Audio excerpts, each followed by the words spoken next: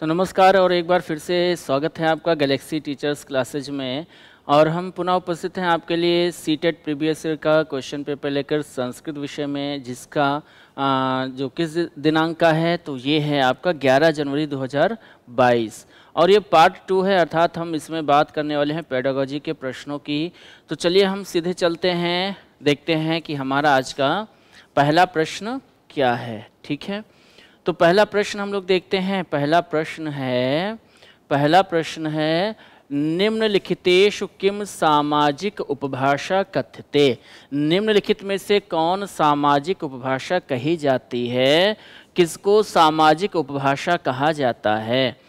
तो पहला विकल्प है कस्यापि समुदाय से अथवा जनसमूह से भाषाया विशेषता। क्या सामाजिक उपभाषा जो है, सामाजिक उपभाषा किसी समुदाय की अथवा किसी जनसमूह की भाषा की विशेषता होती है? या कस्यापि राज्य से देश से अथवा महाद्वीप से भाषा, किसी राज्य की, किसी देश की अथवा किसी महाद्वीप की भाषा को हम सामाजिक उपभाषा कहते हैं? या फिर भाषा क्षेत्र से अंतर्गत कश्याप क्षेत्र से भाषा विशेषता। भाषा क्षेत्र के अंतर्गत किसी क्षेत्र के भाषा की विशेषता सामाजिक उपभाषा कही जाती है, अथवा कश्याप क्षेत्र से लिखता भाषा साहित्यम च। किसी क्षेत्र का लिखित भाषा और साहित्य को उपभाषा, सामाजिक उपभाषा कहा जाता है। तो ध्यान दीजिए, सामाजिक उपभाषा की बात की जा रही है और सामाजिक उपभाषा क्या होती है? तो किसी समुदाय अथवा किसी जनसमूह की भाषा की विशेषता होती है। जब कोई समुदाय या कोई जनसमूह किसी भाषा में किंचित परिवर्तित रूप के साथ उसका प्रयोग करता है तो वो रूप ही, वो परिवर्तित रूप ही किसी समुदाय का, जनसमूह का, भाषा का परिवर्तित रूप ही क्या कहलाता है? सामाजिक उपभाषा कहा जाता है। तो यहाँ पर ए विकल्प हमारा सही उत्तर हो जाएगा। अगले प्रश्न की हम करते हैं बात। सत्रहवा प्रश्न है, भाषा अस्ति, भाषा होती है। तो भाषा क्या होती है? पहला विकल्प है, एका स्वाभाविकी भाषा यस्याह व्याकरणम अस्ति। भाषा एक स्वाभाविक भाषा होती है, जिसका एक व्याकरण होता है। दूसरा विकल्प है स्वाभाविकी भाषा नास्ति। भाषा स्वाभाविक नहीं होती है मतलब सहज नहीं होती है, प्राकृतिक नहीं होती है। तीसरा है स्वाभाविकी भाषा यस्या व्याकरणम नास्ति। भाषा वो होती है जो स्वाभाविक हो और जिसका एक व्याकरण हो। चौथा है वधिर समुदाय से कृत्य संकेत समूह। जो वधिर समुदाय होता है अर्थात जो वधिर होते हैं, बहरे होते हैं, उनके लिए जो संकेत समूह होता है, उसको भाषा कहा जाता है। तो इन चार विकल्पों को देख करके हमें क्या लग रहा है कि सही विकल्प कौन सा होगा तो हम भी देख रहे हैं, आप लोग भी देखिए और जल्दी से बताइए। फ़िलहाल तो हमें पहला विकल्प ही उचित प्रतीत हो रहा है। भाषास्त भाषा होती है तो एक स्वाभाविक भाषा और जिसका एक क्या होता है, व्याकरण होता है, उसी को भाषा कहा जाता है। ए विकल्प यहाँ पर सही उत्तर हो जाएगा। अगले प्रश्न की ओर हम बढ़ते हैं, अगले प्रश्न की कर लेते हैं बात।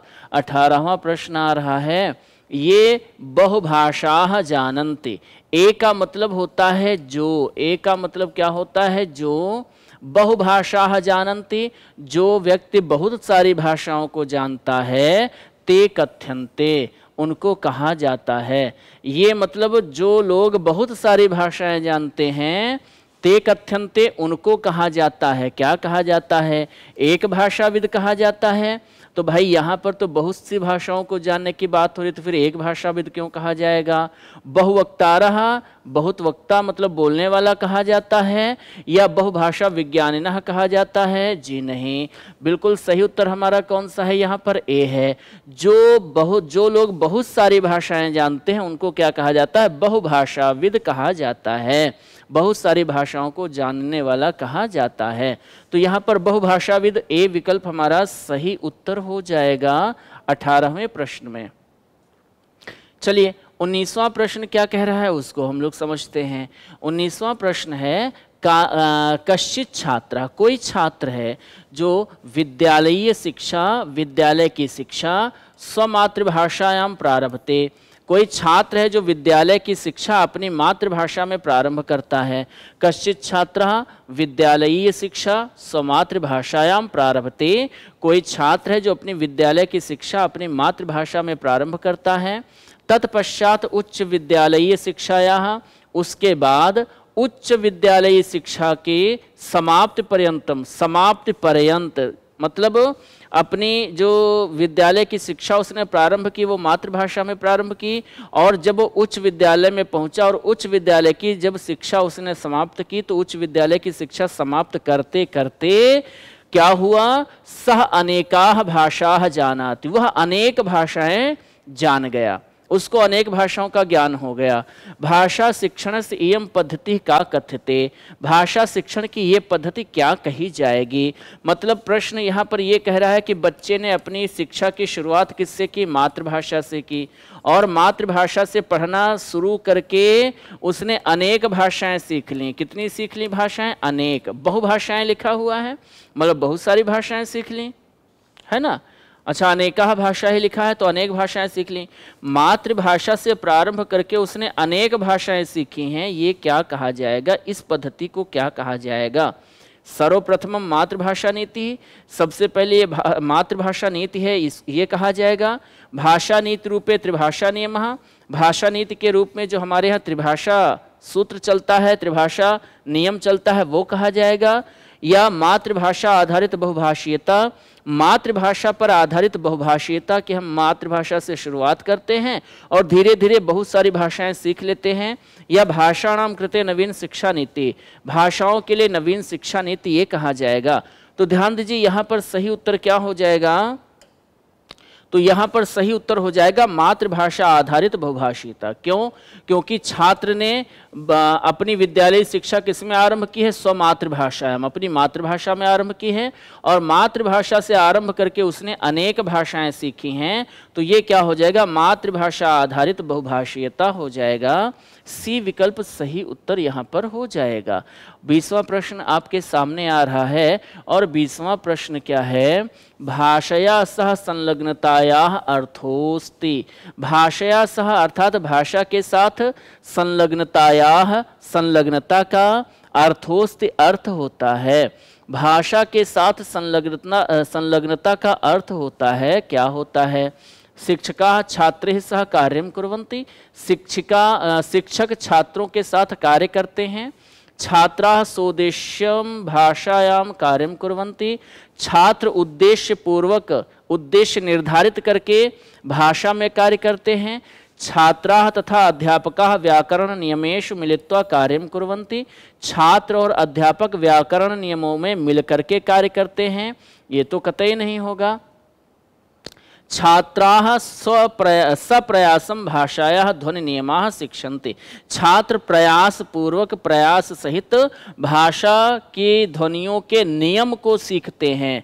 नियम सीखना, व्याकरण सीखना, ये दोनों विकल्प गलत हैं। हमारे सामने दो विकल्प शेष हैं। तो भाषा के साथ संलग्नता का अर्थ होता है शिक्षक छात्रों के साथ कार्य करते हैं। जी नहीं, बल्कि क्या अर्थ होता है? छात्रा सोदेश्य भाषायाम कार्य करवंती छात्र उद्देश्य पूर्वक उद्देश्य सहित भाषा में कार्य करते हैं। बी विकल्प सही उत्तर हो जाएगा बीसवें प्रश्न में। चलिए बढ़ते हैं, अगले प्रश्न की बात करते हैं। निम्नलिखितेन केन छात्रा सोदेश्यम भाषाया प्रयोगम कुरंती निम्नलिखितेन, निम्नलिखित में से केन, किसके द्वारा छात्रा, छात्र सोदेश्यम भाषाया प्रयोगम कुरंती उद्देश्य सहित भाषा का प्रयोग करते हैं। निम्नलिखित में किसके द्वारा छात्र उद्देश्य सहित भाषा का प्रयोग करते हैं? पाठस्य उद्वाचन पाठ का उद्वाचन के, करके, या कविता या स्मरणेन कविता का स्मरण करके भाषा का प्रयोग करते हैं। अभ्यासेन अभ्यास के द्वारा या प्रामाणिक कार्य प्रामाणिक कार्यों के द्वारा। देखिए, यहाँ पर पाठस उद्वाचन पाठ का उद्वाचन करके भाषा का प्रयोग करते हैं उद्देश्य से ये तो सही नहीं है। कविता स्मरण करके भाषा का उद्देश्य पूर्वक प्रयोग करते हैं, ये भी सही नहीं है। यहाँ पर हम बात कर रहे हैं किसकी उद्देश्य की। किसकी बात कर रहे हैं? उद्देश्य की बात कर रहे हैं, है ना? और जब उद्देश्य सहित भाषा का प्रयोग किया जाता है तो वहाँ क्या होता है? उद्देश्य सहित भाषा का प्रयोग करना, उद्देश्य क्या है? उद्देश्य है कि हम भाषा को सीखें। उद्देश्य है कि हम भाषा को ग्रहण करें, उद्देश्य है कि हम भाषा को जानें। और इस उद्देश्य को लेकर के जब हम भाषा का प्रयोग करते हैं तो वो उद्वाचन नहीं है, स्मरण नहीं है, ना तो अभ्यास है। वो क्या हो जाएगा? प्रामाणिक कार्य हो जाएगा। ये अभ्यास जो है, ये अभ्यास भी किसमें आ जाएगा? प्रामाणिक कार्य में। अब प्रामाणिक कार्य क्या है? हमारा उद्देश्य है भाषा को सीखना। और भाषा को सीखने के लिए, उस उद्देश्य की पूर्ति के लिए हम क्या करते हैं? तो हम जो भाषा सीख रहे हैं, हम मेडिकल स्टोर पर गए तो हम मेडिकल स्टोर वाले से दवाई भी उसी भाषा में मांग रहे हैं। सब्ज़ी वाले से भी अगर वो पढ़ा लिखा थोड़ा बहुत है तो हम उसी भाषा में बात कर रहे हैं। या हम जहाँ भी जा रहे हैं अपने घर में, अपने मित्रों के साथ, अपने परिजनों के साथ, अपने अध्यापकों के साथ, जहाँ भी हैं, हमारा उद्देश्य है भाषा को सीखना तो उद्देश्य पूर्वक हम भाषा का प्रयोग कर रहे हैं। ये क्या है? ये है हमारा प्रामाणिक कार्य, और प्रामाणिक कार्य है, ये ए विकल्प यहाँ पर सही उत्तर हो जाएगा, ठीक है? तो इक्कीसवें में पहला विकल्प सही उत्तर हो जाएगा। आगे बढ़ते हैं, बाईसवें प्रश्न की बात करते हैं। श्रुति ही घटना नाम सूचनार्थम। कोई बालिका है जिसका नाम क्या है? श्रुति है और श्रुति घटनाओं की सूचना प्राप्त करने के लिए। श्रुति घटना नाम सूचनार्थम। श्रुति घटनाओं की सूचना प्राप्त करने के लिए पत्रिकाम पठती। पत्रिका पढ़ती है। तस्याह पठनम किम कथ्यते? उसका पठन, उसका पढ़ना क्या कहा जाएगा? तो श्रुति जो है, ये घटनाओं की सूचना प्राप्त करने के लिए, घटनाओं को जानने के लिए पत्रिका पढ़ रही है। उसका इस तरह से पढ़ना क्या कहा जाएगा? क्या ये विहंगम दृष्टिपात है? विहंगम दृष्टिपात का मतलब होता है जब हम सरसरी निगाह से, जैसे आपने देखा होगा, पक्षी जो होता है, उड़ते हुए इधर उधर सरसरी निगाह से हर जगह देखता रहता है, क्या हम उस तरह से पढ़ रहे हैं? तो सरसरी निगाह से जब हम पढ़ते हैं तो वो पढ़ना क्या होता है? जब हम रिवीजन करते हैं रिवाइज करते हैं, है ना? तो ये तो होगा नहीं, क्योंकि यहाँ पर घटनाओं की सूचना प्राप्त करनी है, ये नहीं होगा। स्वदेश्यम पठनम, क्या ये उद्देश्य सहित पढ़ना है, या मनोरंजनाय पठनम? मनोरंजन के लिए जब हम पढ़ते हैं तो वहाँ हम विस्तृत तरीके से पढ़ते हैं, और वो प्रायः हम कथा कहानी की बात करते हैं वहाँ पर। यहाँ पर घटनाओं की सूचना प्राप्त करने की बात हो रही है, ये निश्चित रूप से क्या है? परिवीक्षणम परिवीक्षणम का मतलब होता है जब हम एक एक बिंदु पर ध्यान देते हुए पढ़ते हैं जो घटनाओं से संबंधित सूचनाएँ होती हैं, उन पर, उनके एक एक बिंदु को हम जानने का, समझने का, जब हम ग्रहण करने का प्रयास करते हैं, उसको क्या कहा जाता है? परिवीक्षण, या इसी को अंग्रेज़ी में क्या कहा जाता है? स्कैनिंग कहा जाता है। तो हमारा चौथा विकल्प यहाँ पर सही उत्तर हो जाएगा। चलिए बात करते हैं तेईसवें प्रश्न की। तेईसवां प्रश्न आ गया है आपके सामने। लिखा है, लेखने भाषणे च। लेखने भाषणे मतलब लिखने में और भाषण मतलब बोलने में। प्रयुक्ता शब्दा, जो शब्द प्रयुक्त होते हैं, वे शब्द कथ्यंते कहे जाते हैं। लिखने में और बोलने में जिन शब्दों का प्रयोग किया जाता है, वो शब्द क्या कहे जाते हैं? क्या ये निष्क्रिय शब्दावली होते हैं? ये शब्द क्या निष्क्रिय शब्दावली कहे जाते हैं? प्रयोगे शब्दावली, प्रयोग में लाई जाने वाली शब्दावली कहे जाते हैं, सक्रिय शब्दावली कहे जाते हैं, या फिर उद्देश्य पूर्णा शब्दावली कहे जाते हैं। तो ध्यान दीजिएगा, जब हम लिखने और बोलने में शब्दों का प्रयोग करते हैं तो जिन शब्दों का हम प्रयोग करते हैं, वो शब्द हमारे क्या कहे जाते हैं? सक्रिय शब्दावली कहे जाते हैं। निष्क्रिय शब्दावली क्या होती है? जिनको हमने सुना और सुन करके छोड़ दिया, उनका हमने प्रयोग नहीं किया। हमने कोई शब्द कहीं सुना और सुनकर, सुना या हमने कहीं कोई शब्द पढ़ा, लेकिन उसको सुनने और पढ़ने के बाद हमने उसका कभी प्रयोग नहीं किया, उनको हमने छोड़ दिया, वो वैसे ही पड़े हैं। जो शब्द प्रयोग में नहीं लाए जाते हैं, सुनते और पढ़ते तो हैं, लेकिन हम प्रयोग में नहीं लाते हैं, ऐसे शब्द क्या होते हैं? निष्क्रिय शब्दावली के अंतर्गत आते हैं। लेकिन जिन शब्दों का हम लिखने में, पढ़ने में, सुनने में, बोलने में, सब में प्रयोग करते हैं वो शब्दावली हमारी कैसी होती है? बोलिए, सक्रिय शब्दावली होती है। सी विकल्प यहाँ पर सही उत्तर हो जाएगा। चौबीसवां प्रश्न आ रहा है आपके सम्मुख। चौबीसवां प्रश्न है निम्नलिखितेषु निम्नलिखित में से किम संज्ञानात्मक शैक्षणिक सक्षमता अस्ति? निम्नलिखित में से कौन सी संज्ञानात्मक शैक्षणिक सक्षमता है? तो संज्ञानात्मक शैक्षणिक सक्षमता कौन सी है? ध्यान दीजिए, बात यहाँ पर किसकी की जा रही है? संज्ञान की। किसकी की जा रही है? संज्ञानात्मक। संज्ञानात्मक शैक्षणिक सक्षमता की, संज्ञानात्मक शैक्षणिक सक्षमता की बात की जा रही है। क्या है ये? तो क्या जन्म दिवसांते दैनिकी लेखनम? क्या जन्म दिवस के अंत में, जन्म दिवस का जब समापन हो जाए तो उसके बाद में दैनिकी लेखन? मतलब दिन भर हमने क्या किया? वो लिखना आज दिन में क्या क्या हुआ वो लिखना, क्या ये हो जाएगा? जलवायु परिवर्तन से जनजीवने प्रभाव इत्यस्मिन विषय समाचार पत्राय लेखस्य लेखनम। जलवायु जलवायु परिवर्तन का जनजीवन पर प्रभाव क्या पड़ेगा? इस विषय में समाचार पत्र के लिए लेख लिखना क्या ये संज्ञानात्मक शैक्षणिक सक्षमता है? या समीपस्थ नगरे मनोरंजन उद्याने पर्यटन से विषय सहपाठी वार्तालाप। समीप में स्थित नगर में मनोरंजन उद्यान में पर्यटन करने के लिए, घूमने के लिए, घूमने के विषय में सहपाठियों के साथ वार्तालाप करना। क्या यह हमारा संज्ञानात्मक शैक्षणिक सक्षमता है? या कस्मिंशित भोजनालय, किसी भोजनालय में भोजनादेशाय, भोजन का आदेश देने के लिए भोजन सूचे अध्ययनम। भोजन की सूची का मेनू कार्ड का अध्ययन करना, ये हमारा संज्ञानात्मक शैक्षणिक सक्षमता कहा जाएगा। ध्यान दीजिए यहाँ पर संज्ञानात्मक शैक्षणिक सक्षमता की बात की जा रही है और इस प्रश्न के संदर्भ में जो सबसे उपयुक्त विकल्प है, वो हमारा क्या है? जलवायु परिवर्तन से जनजीवने प्रभाव इत्यस्मिन विषय। जलवायु परिवर्तन का जनजीवन पर क्या प्रभाव पड़ेगा? इस विषय में समाचार पत्र में देने के लिए लेख लिखना। और जब हम लेख लिखेंगे तो लेख लिखने की एक प्रक्रिया होती है। हमारे अंदर विचारों का उत्तेजन होगा, विचार उत्पन्न होंगे, विचार उत्पन्न होंगे, फिर हम उनके एक रूपरेखा बनाएँगे। है ना? ये सब प्रक्रियाएँ होती हैं और इन प्रक्रियाओं में कहीं ना कहीं हम अपना पूरा जो है, मनोयोग से अपना पूरा ध्यान केंद्रित करते हैं और ध्यान केंद्रित करके वहाँ हम विभिन्न क्रियाएँ करते हैं, विभिन्न क्रियाओं के माध्यम से वहाँ पर हम शिक्षण कर रहे हैं, सीख रहे हैं, सीखने से संबंधित क्रियाकलाप कर रहे हैं। तो यहाँ पर हमारा वी विकल्प सही उत्तर हो जाएगा। ठीक है? चौबीसवें प्रश्न में बी विकल्प सही है। पच्चीसवां प्रश्न है लेखन से प्रक्रिया पद्धति लेखन की जो प्रक्रिया पद्धति होती है, लेखन की प्रक्रिया पद्धति को सुंदर लेखना है। सुंदर लेखन के लिए किमर्थम आदर्श पद्धति रूपेण यूयम मन्यध्वम। किस लिए आदर्श पद्धति के रूप में यूयम मतलब तुम सब लोग मानते हो मनिध्वम मतलब मानते हो। लेखन की जो प्रक्रिया पद्धति होती है, लेखन की प्रक्रिया पद्धति को सुंदर लेखन के लिए तुम लोग आदर्श पद्धति के रूप में क्यों मानते हो? तो क्यों माना जाता है? क्या लेखन की प्रक्रिया पद्धति में प्रक्रिया पद्धति छात्रान सज्जीकरणेन विनयो तत्काल में वो भाषितुम योग्यान करोते? क्या जो प्रक्रिया पद्धति होती है लेखन की, वो छात्रों को सज्जीकरणेन विनयो? बिना किसी सज्जा के, सज्जा का मतलब यहाँ पर क्रीम पाउडर लगाना नहीं है, यहाँ पर है तैयारी।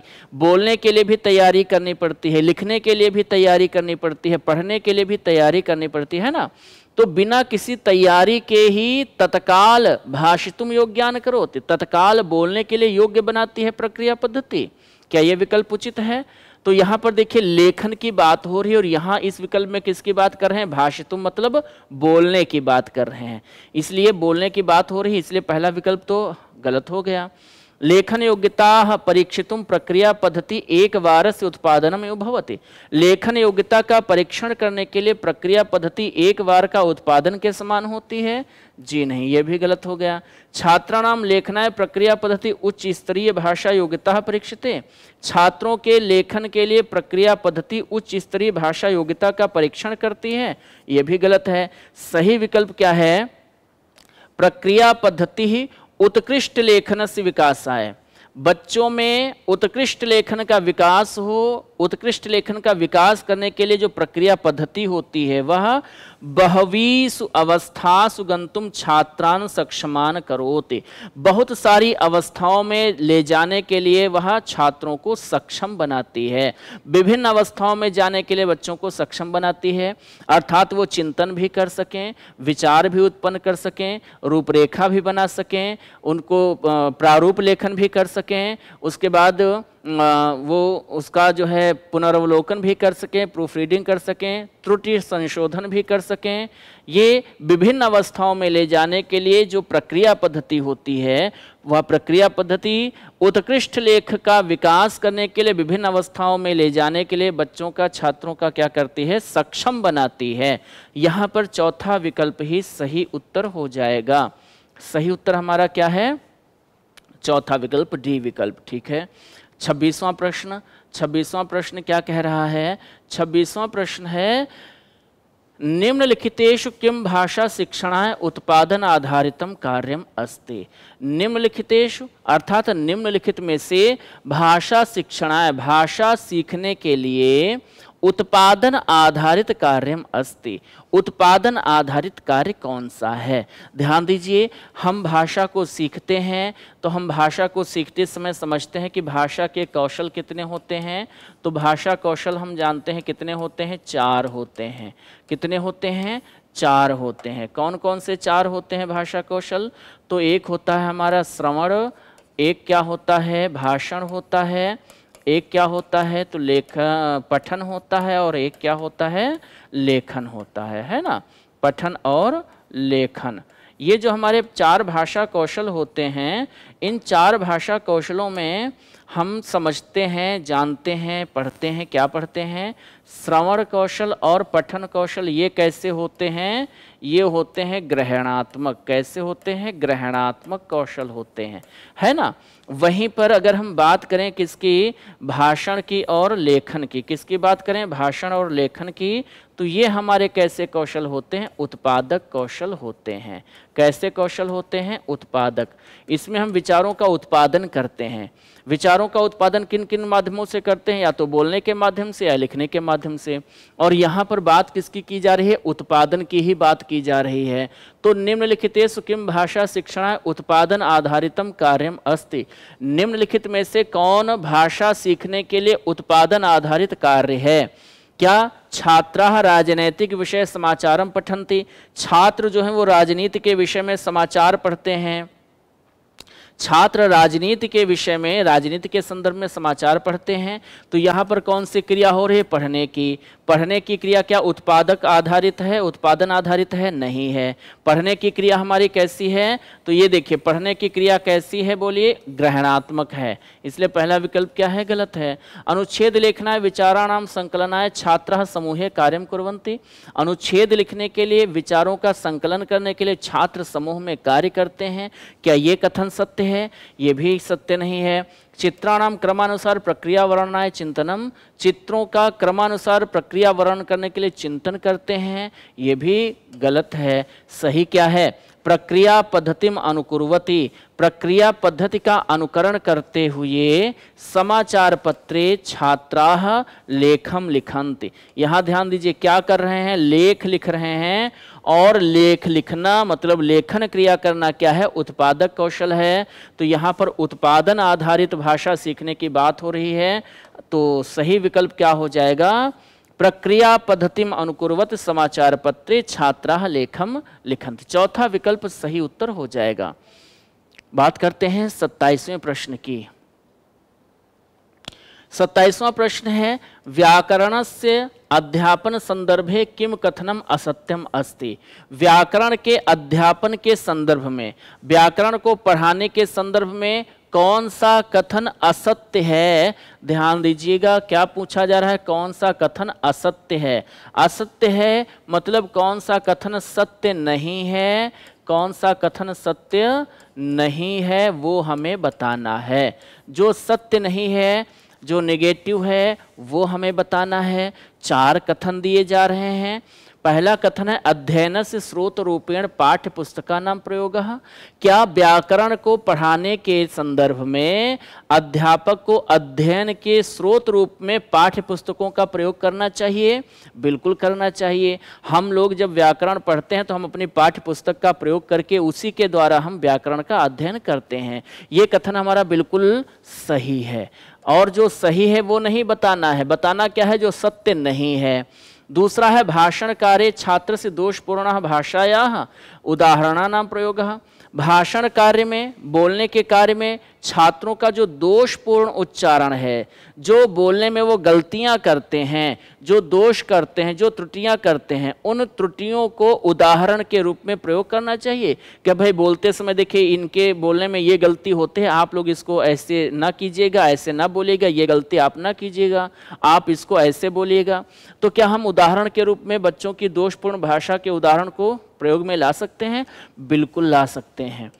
तीसरा विकल्प है शब्दानाम तथा संरचना शब्दों और संरचनाओं को। व्याकरण पढ़ाते समय भाई व्याकरण में हम शब्दों को पढ़ते हैं, उसकी संरचना को समझते हैं, शब्द कैसे बना, ये समझते हैं, ये जानते हैं, यही व्याकरण होता है। तो क्या शब्दों तथा संरचनाओं का प्रदर्शन करने के लिए चित्रों का उपयोग कर सकते हैं हम? क्या बच्चों को शब्दों की और उसकी संरचना की बात बताने के लिए हम चित्रों का प्रयोग कर सकते हैं? नहीं कर सकते हैं, क्योंकि चित्रों के माध्यम से बच्चे शब्द की संरचना को कैसे सीखेंगे? ये कथन अशुद्ध है। अध्यापन विषय से उदाहरणा नाम वाक्य रूपे प्रयोग। अध्यापन विषय के उदाहरणों को वाक्य रूप में प्रयोग करना चाहिए, ये भी बात बिल्कुल सही है। तो ये तीन कथन हमारे सत्य हैं और ये वाला, तीसरा वाला कथन हमारा जो है, ये क्या है? असत्य है।